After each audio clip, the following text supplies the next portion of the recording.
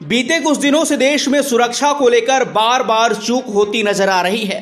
कुछ ही दिनों पहले देश ने एक जाबाज सीडीएस को खो दिया, जिससे देश भर में गम का माहौल था। वहीं अब एक बड़ी खबर ने लोगों को और भी गमगीन कर दिया है।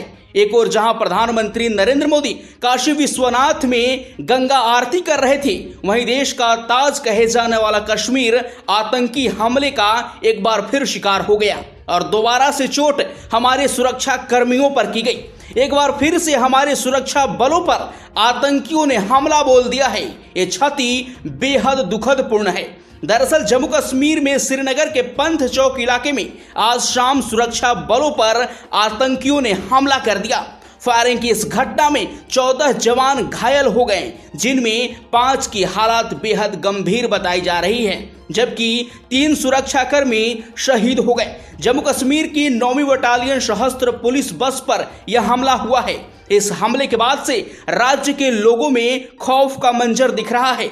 ताज़ा जानकारी के अनुसार सभी घायलों को पास के अस्पताल में इलाज के लिए भर्ती कराया गया है। सुरक्षा बलों ने पूरे इलाके को घेर कर सर्च ऑपरेशन शुरू कर दिया है। इससे पहले आज ही श्रीनगर के रंगरेथ इलाके में हुई मुठभेड़ में सुरक्षा बलों ने दो आतंकियों को मार गिराया। दरअसल सुरक्षा बलों को सूचना मिली थी कि श्रीनगर के रंगरेथ में आतंकियों की मौजूदगी देखी गई है।